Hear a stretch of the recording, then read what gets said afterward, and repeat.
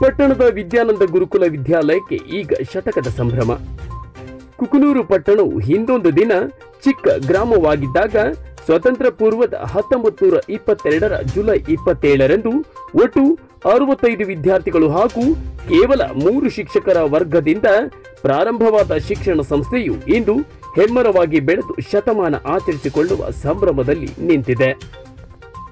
ಈ ವೇಳೆ ಕುಕನೂರು ಪಟ್ಟಣದ ವಿದ್ಯಾನಂದ ಗುರುಕುಲ ವಿದ್ಯಾಲಯಗಳ ಒಳ ಆವರಣದಲ್ಲಿ ಆಯೋಜನೆ ಮಾಡಲಾಗಿದ್ದ ವಿದ್ಯಾನಂದ ಗುರುಕುಲ ವಿದ್ಯಾಲಯದ ಸಂಸ್ಥಾಪಕ ದಿವಂಗತ ರಾಘವೇಂದ್ರ ರಾವ್ ಬಿ ದೇಸಾಯಿ ಅವರ ನೂರ ಇಪ್ಪತ್ತೈದನೇ ಹುಟ್ಟುಹಬ್ಬ ಹಾಗೂ ವಿದ್ಯಾಲಯದ ಶತಮಾನ ಸಂಭ್ರಮ ಸಮಾರಂಭದ ಕಾರ್ಯಕ್ರಮವನ್ನು ಉದ್ಘಾಟನೆ ಮಾಡಿ ಮಾತನಾಡಿದ ಗಣಿ ಮತ್ತು ಭೂವಿಜ್ಞಾನ ಸಚಿವರಾದ ಹಾಲಪ್ಪ ಆಚಾರ್ ಗ್ರಾಮೀಣ ಮಕ್ಕಳಿಗೆ ನಿರಂತರವಾಗಿ ನೂರು ವರ್ಷಗಳಿಂದ ನಿರಂತರವಾಗಿ ವಿದ್ಯಾದಾನ ಮಾಡಿದ ಮಹಾಸಂಸ್ಥೆ ಎಂಬ ವಿಜ್ಞಾನದ ಗುರುಕುಲ ತನ್ನ ಮುಡಿಗೆ ಏರಿಸಿಕೊಂಡಿದ್ದು.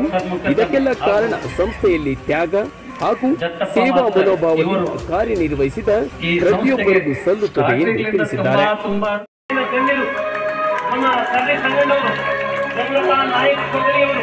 ನಮ್ಮ ಉಳಿದ ಎಲ್ಲ ಮುಖಂಡರು ರಾಮಣ್ಣ ರಜಂತ್ರಿಯವರು ವೆಂಕಣ್ಣ ಯಲಾಶಿಯವರು ದಯವಿಟ್ಟು ಎಲ್ಲರೂ ಜ್ಯೋತಿಯನ್ನು ಬೆಳಗಿಸಿ ಈ ಕಾರ್ಯ ನಿರ್ವಿಘ್ನವಾಗಿ ಸಾಗಲಿದ್ದಾರೆ ಹಾರೈಸಬೇಕು ಅಂತ ಹೇಳಿ ಅವ್ರಿಗೆ ಪ್ರಾರ್ಥನೆಯನ್ನು ಮಾಡಿಕೊಳ್ತೇನೆ ಕಲ್ಯಾಣ ದೀಪ ಸಿರಿನುಡಿಯ ದೀಪ ಒಲವೆತ್ತಿ ತೋರುವ ದೀಪ ಅಚ್ಚೇವು ಕನ್ನಡದ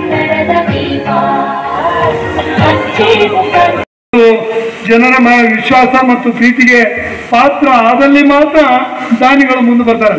ದಾನಿಗಳಾದರೂ ಹಂಗೆ ಸುಮ್ಮನೆ ದಾನ ಮಾಡೋದಿಲ್ಲ, ಎಲ್ಲಲ್ಲಿ ಕಂಡಲ್ಲಿ ಅದು ಸರಿಯಾಗಿ ಪ್ರಾಮಾಣಿಕವಾಗಿ ಇವತ್ತು ಎಲ್ಲಿ ಒಳ್ಳೆಯದಕ್ಕೆ ಅರ್ಥಪೂರ್ಣವಾಗಿ ಉಪಯೋಗ ಆಗುತ್ತೋ ಅದಕ್ಕೆ ಮಾತ್ರ ದಾನಿಗಳು ಯಾರಾದರೂ ಇವತ್ತು ಮುಂದೆ ಬರ್ತಾರೆ. ಅದಕ್ಕೆ ಸಾಕ್ಷಿಯಾಗಿ ಇವತ್ತು ತಮಿಳುನಾಡಿನ ಒಬ್ಬ ಅತ್ಯಂತ ಹಿರಿಯರ ಹೆಸರನ್ನು ಹೇಳಿದ್ರು. ಪ್ರತಿ ತಿಂಗಳು ಒಂದು ಲಕ್ಷ ಚಿಲ್ಲರೆ ಕೊಡ್ತಕ್ಕಂಥದ್ದನ್ನು ಕೇಳಿದಾಗ ಇಂಥವ್ರು ಇನ್ನೂ ಸಮಾಜದಲ್ಲಿ ಇರೋದ್ರಿಂದನ ಇಂತಹ ಸಂಸ್ಥೆಗಳು ಅನೇಕ ಮಕ್ಕಳಿಗೆ ಇವತ್ತು ಆಸರೆಯಾಗಿ ನಿಂತಿದ್ದೇವಂತೆ ನಾವು ಹೇಳಬೇಕಾಗತ್ತೆ.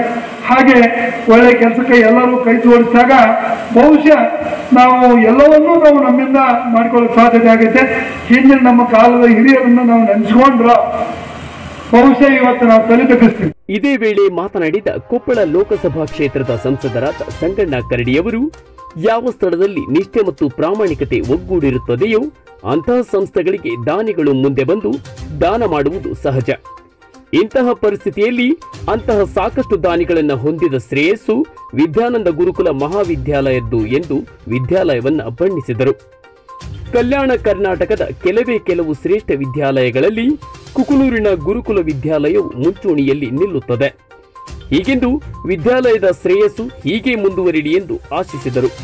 ಮತ್ತು ಕೊಪ್ಪಳ ಗವಿಮಠದ ಶ್ರೀಗಳ ಆಶಯದಂತೆ ಕೊಪ್ಪಳ ಗವಿಮಠ ಮತ್ತು ಕುಕನೂರಿನ ಗುರುಕುಲ ವಿದ್ಯಾನಂದ ವಿದ್ಯಾಲಯಕ್ಕೆ ಶಿಕ್ಷಣಕ್ಕಾಗಿ ಶ್ರಮಿಸುತ್ತಿರುವ ಜಿಲ್ಲೆಯ ಎರಡು ರತ್ನಗಳಿದ್ದಂತೆ ಎಂದು ತಮ್ಮ ಅಭಿಪ್ರಾಯವನ್ನ ವ್ಯಕ್ತಪಡಿಸಿದರು. ಈ ಡೈಮಂಡ್ ಅಂತಂದ್ರೆ ಅದು ಹೊಳಿತಿರ್ತದೆ, ಅಂದ್ರೆ ಎಲ್ಲರ ಲಕ್ಷ್ಯ ಅದರ ಕಡೆ ಹೋಗ್ತಿರ್ತದೆ.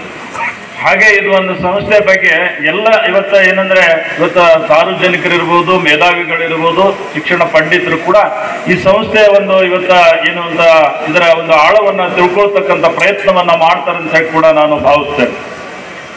ಮತ್ತೆ ಈ ಸಂಸ್ಥೆ ಇವತ್ತು ಅಂದಿನ ಬ್ರಿಟಿಷರ ಏನು ಇವತ್ತ ದಾಸ್ಯತ್ವ ಇರತಕ್ಕಂಥ ಸಂದರ್ಭದಲ್ಲಿ ಇದು ಹುಟ್ಟಾಕಿರ್ತಕ್ಕಂಥದ್ದನ್ನು ನೋಡಿದಾಗ, ಅವತ್ತಿನ ಏನಿವತ್ತ ನಮ್ಮ ದಿವಂಗತ ಅಂತ ಏನಿವತ್ತ ರಾಘವೇಂದ್ರ ದೇಸಾಯಿ ಅವ್ರನ್ನ ನಾವು ಇವತ್ತು ಅವ್ರನ್ನ ಇವತ್ತ ಸ್ಮರಿಸಬೇಕಾಗುತ್ತದೆ ಅವರ ಟೀಮನ್ನ ನಾವು ಅಭಿನಂದಿಸಬೇಕಾಗುತ್ತದೆ ಆ ಕಲ್ಪನೆ ಏನಿದೆಯಲ್ಲ ಆ ಸಂಕಲ್ಪ ಏನಿದೆಯಲ್ಲ ಇವತ್ತ ಮುಂದೆ ಆ ಮಕ್ಕಳಿಗೆ ಇವತ್ತ ಭವಿಷ್ಯವನ್ನ, ಜ್ಞಾನಾರ್ಜನೆಯನ್ನ ಕೊಡ್ತಕ್ಕಂತ ಏನ್ ಸಂಕಲ್ಪವನ್ನ ಮಾಡಿದಾರಲ್ಲ, ಇವತ್ತ ಆ ಒಂದು ಇವತ್ತ ದೇಸಾಯರ ಆತ್ಮಕ್ಕೆ ನಾನು ಇವತ್ತ ಇವತ್ತ ಶಾಂತಿಯನ್ನ ಕೋರ್ತೇನೆ ಅಂತ ಹೇಳಿ ಸಂದರ್ಭದಲ್ಲಿ ಹೇಳಿಕೆ ರಾಷ್ಟ್ರದ ಒಂದು ಮುಕುಟದ ಮಡಿಯಂತೆ ತಪ್ಪಾಲಿಕ್ಕಿಲ್ಲ.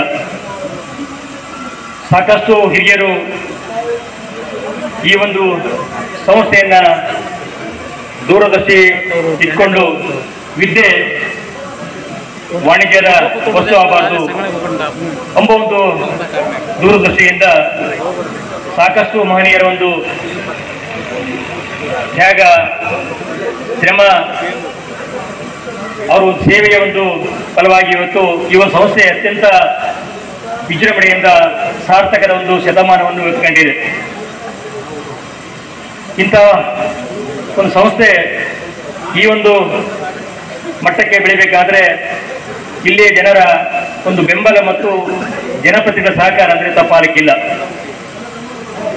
ಇಂಥ ಒಂದು ಸಂಸ್ಥೆ ಸೌಂದರ್ಯವೇ ಬೇರಾಗ್ತಿತ್ತು ಇಲ್ಲಿ ವಿದ್ಯೆ ಅಲಂಕಾರ ಇದೆ ಹೊರತಾಗಿ ಬಾಹ್ಯ ಅಲಂಕಾರ ಇಲ್ಲ ಅಂತ ಈ ಸಂದರ್ಭದಲ್ಲಿ ಯಾಕಂತಂದ್ರೆ ಸಿದ್ದಯ್ಯ ಪುರಾಣಿಕ ಅಂತ ಒಬ್ಬ ಮಹಾ ವ್ಯಕ್ತಿ ಕೂಡ ಇಲ್ಲೇ ಹೊರಹೊಮ್ಮಿದಂತ ಒಬ್ಬ ವ್ಯಕ್ತಿ ಧೀಮಂತ ಒಂದು ಕವಿ ಅಂತ ನಾನು ಈ ಸಂದರ್ಭದಲ್ಲಿ ನಾನು ನೆನೆಸ್ಕೊಳ್ತೀನಿ.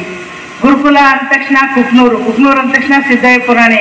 ಅವರು ಅಜಮರ, ಅಜರಾಮರವಾಗಿ ಇತಿಹಾಸ ಉಳಿಸ್ಕೊಂಡೋಗಿದ್ದಾರೆ.